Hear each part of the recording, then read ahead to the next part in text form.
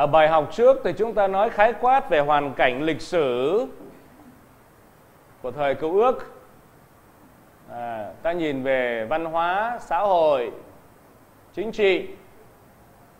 Ở bài học này chúng ta nói khái quát về các nguồn văn được sử dụng trong cựu ước.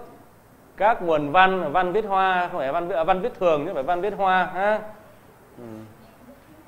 Khi các bạn để ý khi văn viết hoa là tôi. À bằng còn khi nào văn viết thường các nguồn văn.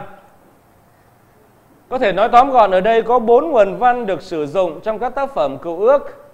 À, tôi có thể liệt kê bốn nguồn văn đó ở đây và rồi chúng ta đi khai triển từng nguồn văn một. Thứ thứ nhất là nguồn văn gia vít gia vít nguồn văn thứ hai là nguồn văn Elohit Elohit nguồn văn thứ ba là đệ nhị luật và nguồn văn thứ tư là nguồn văn tư tế. Đó là bốn nguồn văn được sử dụng để viết cựu ước. Bây giờ ta nói về lịch sử của nguồn văn David. Tại sao lại gọi là nguồn văn David? Bởi vì tác giả xưng tên Thiên Chúa Gia-vê là Gia-vê. Đó, xưng danh Thiên Chúa là Gia-vê. Cho nên ta gọi đây là nguồn văn David vì xưng danh Thiên Chúa là Gia-vê, cho nên gọi đây là nguồn văn David.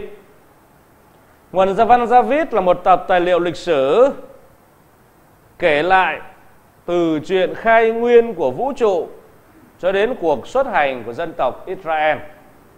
Từ thời khai nguyên của vũ trụ, diễn tả trong sáng thế ký đó, cho đến cuộc xuất hành của Israel. Người ta thấy tài liệu David nằm tản mát trong các tập ngũ thư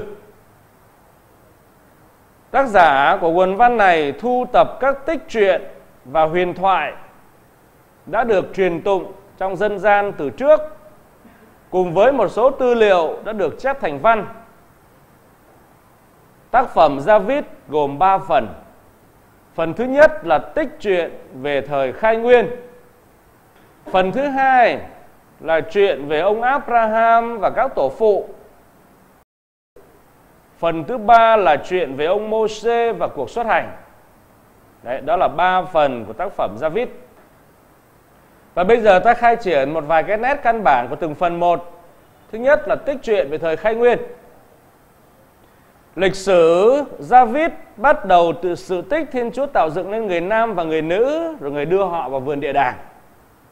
Tác giả David đã dùng những câu chuyện biểu tượng của thời đó như là vị thần thợ gỗ, vị thần thợ gốm này, như là vườn địa đàng này, như là cây trường sinh này, con rắn biết nói này. Đó là những cái biểu tượng rất quen thuộc để mà viết sách.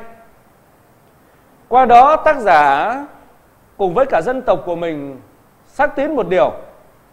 Vị thiên chúa hiện hữu từ khai thiên lập địa là đấng sáng tạo nên thế giới, sáng tạo nên loài người thì cũng chính Ngài là đấng giải thoát Israel khỏi Ai Cập. Thiên Chúa là đấng sáng tạo, đồng thời Ngài là đấng giải thoát. Đấy là một cái điểm nhấn của nguồn văn David. Tác giả nói đến trách nhiệm của con người trước tội lỗi và cả cái chết của họ. Từ khi con người sống bất trung với Thiên Chúa. Và từ khi đó thì tội ác lẻn vào trần gian. Và cái hệ quả của nó là người nam thống trị người nữ.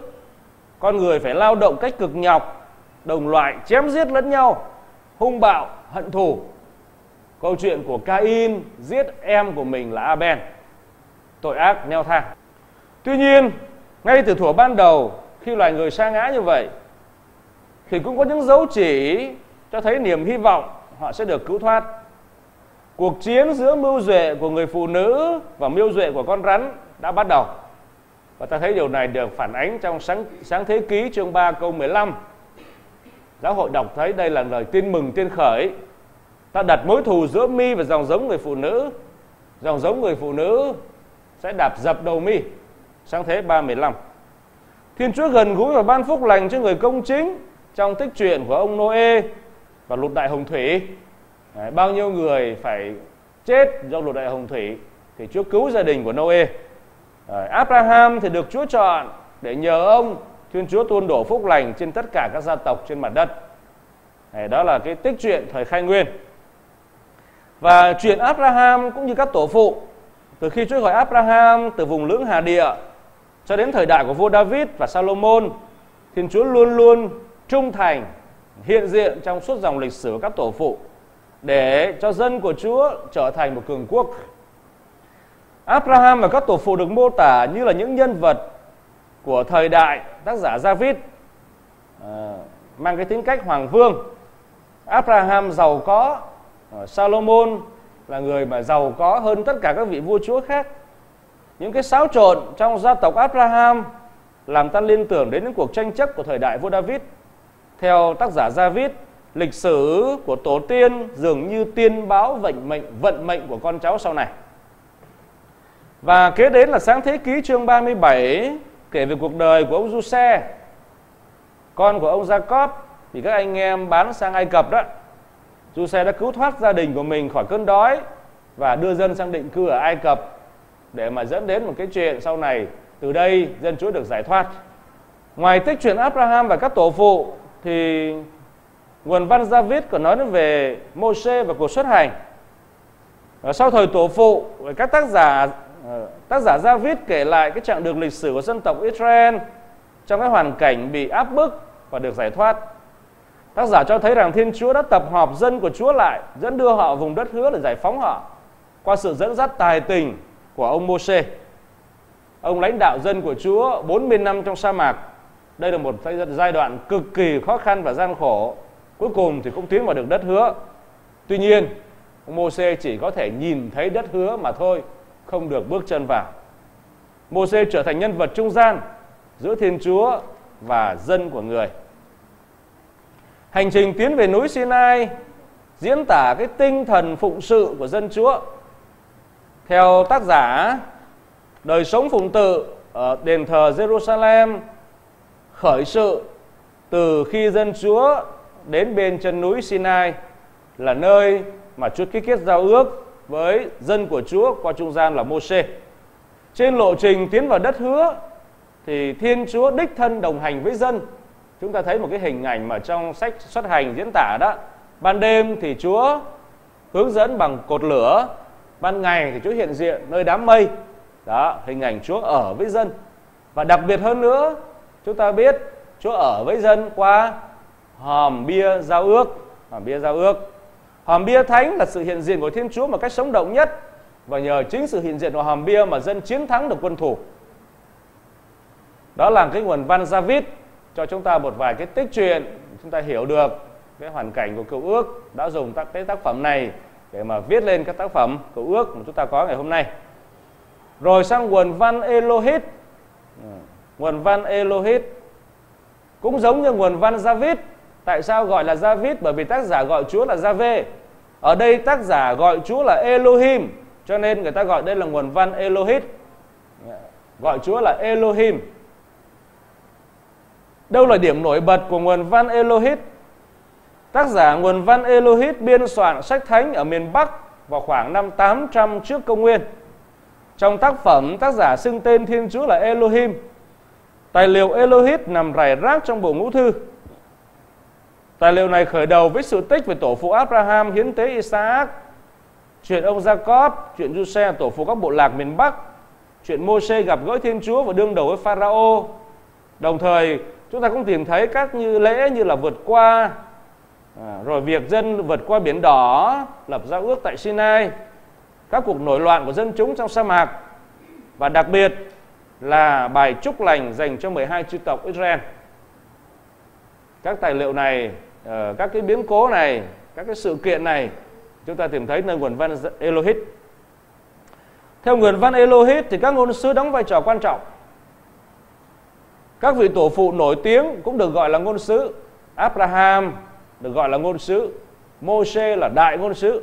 Cộng tác viên của Moshe cũng có khả năng phát ngôn và dân Israel mong muốn mọi người được cái ơn này. À, người ta đề cao đến ơn ngôn sứ. Tài liệu Elohit có mục đích đào sâu đức tin của dân Chúa. Các ngôn sứ giúp cho người biết tìm gặp Thiên Chúa trong những biến cố thời sự ờ, qua các sứ thần của Thiên Chúa phái đến kể cả trong những nghịch cảnh. Nguồn văn Elohit thể hiện tinh thần cởi mở với các dân tộc khác, sẵn sàng đón nhận những người ngoại giáo, ờ, Chẳng hạn như là bà Haga và đứa con là Ismael, tổ tiên người Ai Cập không bị coi thường. Qua truyền thống Elohit, dân riêng của Thiên Chúa hồi tưởng lại những kỷ niệm của quá khứ để suy nghĩ tùy theo hoàn cảnh sống hiện tại mà khám phá ra ý nghĩa mới mẻ phong phú cho những kỷ niệm lịch sử. Và biến cố xuất hành theo quan điểm của truyền thống Elohit Tác giả Elohit ghi lại âm mưu của Pharaoh muốn tiêu diệt dân, dân Hebrew. Tuy nhiên vì lòng kính sợ Chúa thì chúng ta biết bà đỡ đã không giết chết một bé trai. Và cuối cùng thì Moses được cứu sống và trở thành một người con trong chính uh, gia đình của Pharaoh. Moses đã gặp gỡ Thiên Chúa ở dưới chân núi và như vậy thì chúng ta thấy cái mạch văn này cho thấy rằng Thiên Chúa là Chúa của người dân miền núi. Có cái gì đó mang tính cách hội nhập và nhận ra Thiên Chúa gần gũi với chính bản thân, với lịch sử của dân tộc mình. Ngôn sứ Elia sau này cũng trở lại núi Khoreb để gặp gỡ Thiên Chúa. Và chính vì vậy sau này khi nói đến núi thì nhiều khi ta hiểu một cái nghĩa mang tính cách thần học hơn chỉ là núi mang theo kiểu là địa lý. Thiên Chúa không thể cầm lòng được khi thấy dân của Chúa bị áp bức Dân của Chúa đã tuyển chọn phải đau khổ và Thiên Chúa ra tay để giải phóng họ. Thiên Chúa bày tỏ danh xưng của người cho dân biết khi mà Chúa chọn lựa Môsê. Ừ, Ngài sẵn sàng đồng hành với họ và để cho họ được sống thân thiện với người hơn cả thời của các tổ phụ. Như vậy ở đây ta đã lược qua nguồn văn thứ hai là nguồn văn Elohit. Bây giờ ta sang nguồn văn thứ ba, nguồn văn đệ nhị luật. Đệ nhị luật là một nguồn văn khá uy tín. Sách đệ nhị luật được xem là lời chăn chối của Môsê trước khi ông tạ thế. Dân Israel đã ra khỏi Ai Cập và tiến đến bên ngưỡng cửa của đất hứa tại xứ Moab, ở trước mặt Jericho. Ông Môsê chúng ta biết là không được qua sông Jordan và ông đã tạo thế tại Moab. Ông Môsê trình bày những bài diễn thuyết của mình để nhắc tới việc xuất hành bổn phận dân và trung thành tuân giữ các khoản luật. Nhờ đó mà dân được vào đất hứa. Ta gọi đây là bản luật thứ hai hay là đệ nhị luật so với bản luật thứ nhất, đó là thập điều. Tại sao gọi là luật đệ nhị luật? Đó là luật thứ hai. Luật trước hết là bản thập giới, thập điều. Luật thứ hai là luật của Moses công bố giúp cho dân giữ để mà được vào đất hứa. Ta gọi đó là đệ nhị luật. Lịch sử của đệ nhị luật diễn ra khá phức tạp. Có lẽ sách này đã được xuất hiện từ thời thời các thầy Lê Vi, là những người phụ trách đền thờ, có nhiệm vụ giảng dạy cho dân trong các dịp hội họp. Chúng ta biết là năm 722 Vương quốc Israel bị đánh bại. Nhiều thầy Lê Vi đã lánh nạn xuống miền Nam của xứ Jude. Và khi đến thời của Manasseh kế vị, thì các thầy Lê Vi đã âm thầm chống lại vị vua này bằng cách giấu các cuốn sách của họ giảng dạy bên cạnh các hòm bia của đền thờ. Năm 622 trước công nguyên, các thầy thượng tế tìm lại được các tập sách này trong khi tu sửa lại đền thờ. Và sách này trở thành tài liệu quan trọng cho cuộc cải cách tôn giáo của vua Xe. Sau đó thì sách được bổ sung thêm một số nội dung để thích nghi với hoàn cảnh hiện tại.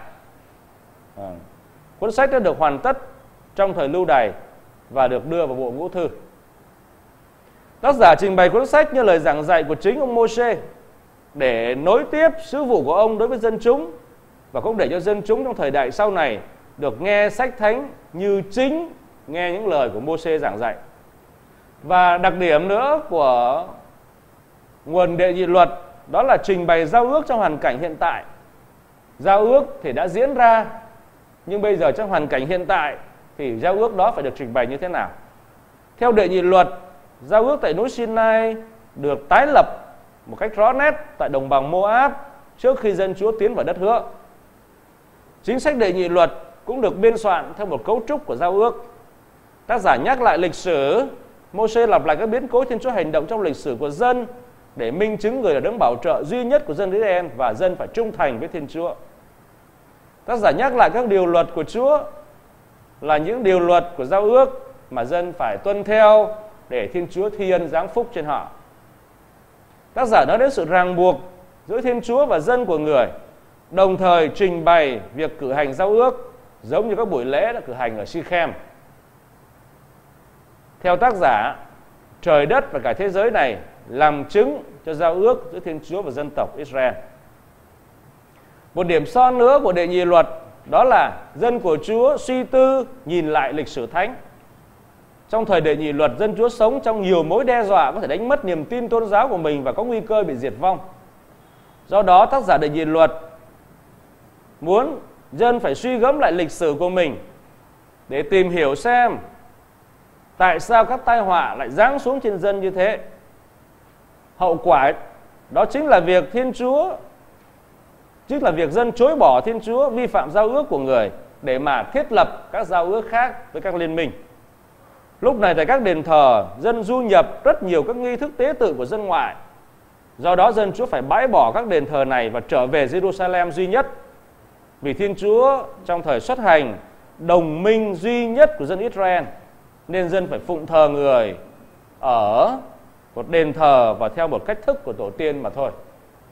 Không thể thờ Chúa theo kiểu của dân ngoại